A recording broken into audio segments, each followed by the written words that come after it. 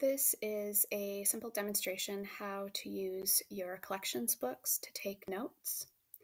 So first of all, just knowing how to maneuver through this entire program. So when you log in, you go to the student ebook, and this is what you will see.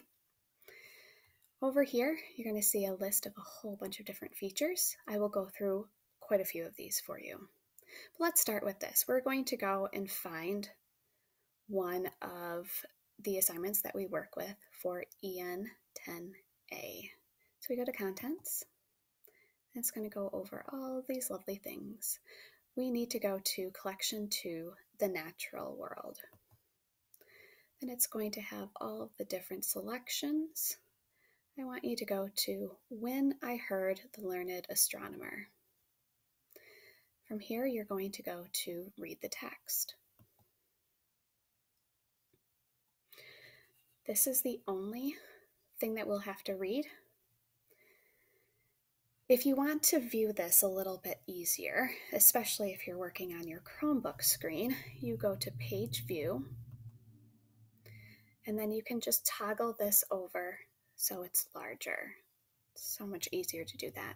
Do not zoom in on your screen because it will take away all of these extra features that you want to have at the ready. So just letting you know, use the toggle to zoom in, not making your screen zoom in. You can also listen to this being read to you. It will not read this background information. And you always want to read this background information. So right now, I would like you to just read that about Walt Whitman.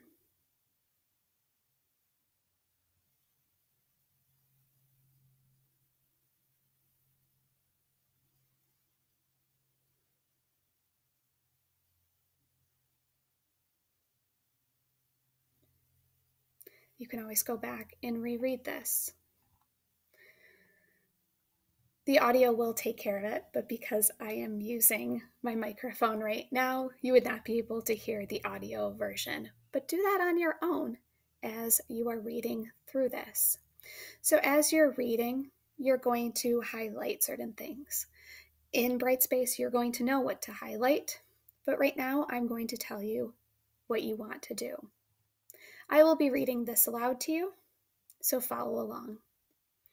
When I heard the learned astronomer, when the proofs, the figures, were ranged in columns before me, when I was shown the charts and diagrams to add, divide, and measure them, when I, sitting, heard the astronomer where he lectured with much applause in the lecture room, how soon, unaccountable, I became tired and sick, till rising and gliding out, I wandered off by myself in the mystical, moist night air, and from time to time looked up in perfect silence at the stars.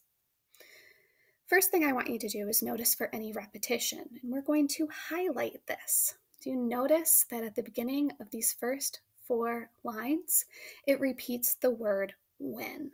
So, what you're going to do is you're going to use your cursor and you're going to highlight, and it's going to pop up add a note. Click on that. From here, it's going to highlight. You can change the different colors. We will keep it yellow right now. And since we don't need to add any extra notes as of this moment, we will press save and continue on to the next one. So you want to be following along with doing this. You can even, if it's just one word, double click on it goes by so much quicker. And you're also going to notice over here your notes. If you want to go newest to oldest, you can see the most recent ones. Last time we double click on when, add the note, which will change the highlighting, and always remember to save. But in this one, what we want to do is we want to add a note about when. Think about this when you're in a classroom and the teacher keeps repeating the same things. They want to emphasize a point, and Whitman wants to emphasize a point. But think about how you're feeling when a teacher is talking on and on and on and on. The repetition of when makes the person feel just as bored as the student does in this classroom.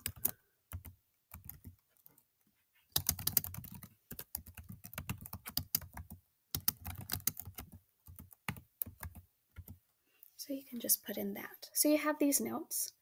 When you press save, not only will this be highlighted, but you're going to see a little note over here that you can look at at any time.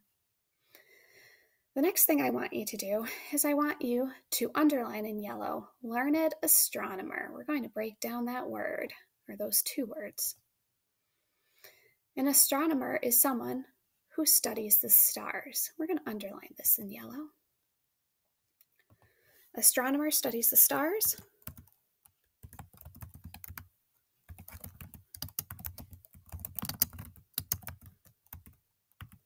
And if they are learned, it's not like they're in the process of learning. It means they have learned everything there is to know. So this would be someone like a teacher or a professor.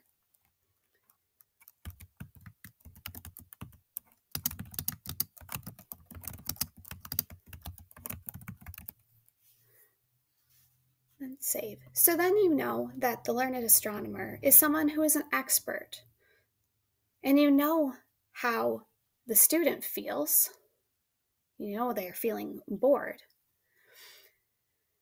And we also know that they're feeling bored by using a few words, a common phrase. Can you notice it in these last four lines? Did you find it? Tired and sick, sick and tired another phrase that we use for boredom. So we're going to highlight that the same that we did for when. And we're just going to say also shows boredom. Now, what do students do when they are bored in class, but they have to stay there? Are you listening or are you hearing? Listening means you're understanding. Hearing just means that you hear the sounds. No understanding is going on. What word did Whitman use? Is the student listening or just hearing? He is hearing. Underline these in pink. So we'll change it to pink and we'll go with an underline. And we'll do that for this one, and then we can add our note. Just showing the difference that this is supporting that idea that the student is bored.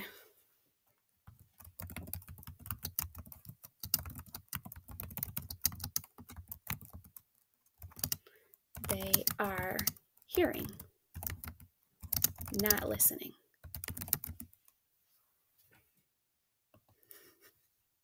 All right.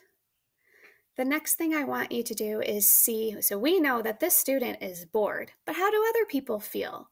The other people in the classroom, what were they doing when this professor was talking? They were applauding. So this shows that everyone else loves the lecture.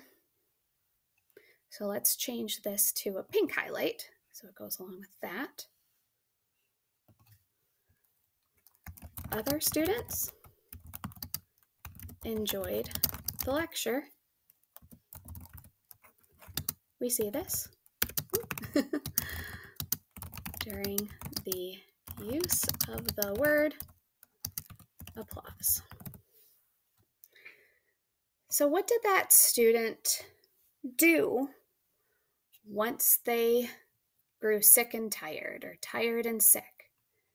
They till rising and gliding out, I wandered off by myself. I would like you to underline this in green.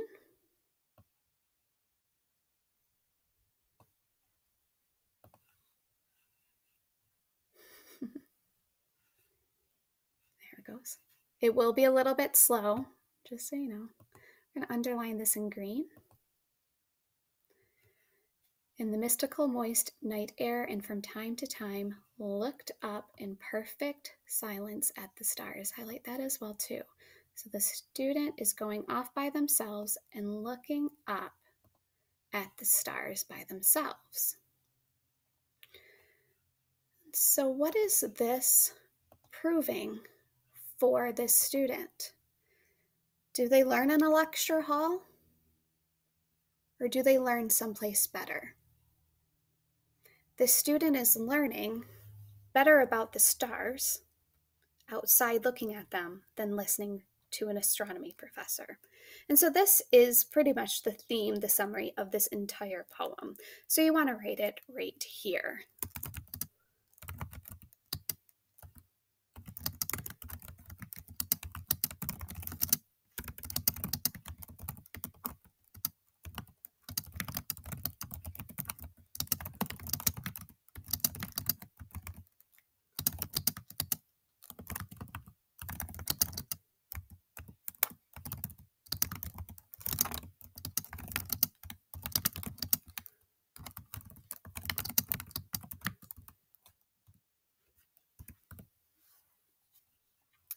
So, the student does not learn in a classroom, but they learn outside looking at the stars because, again, they were listening to a professor who studies the stars talking about all this boring stuff. Even though other people like it, they grew sick and tired and just decided to learn on their own.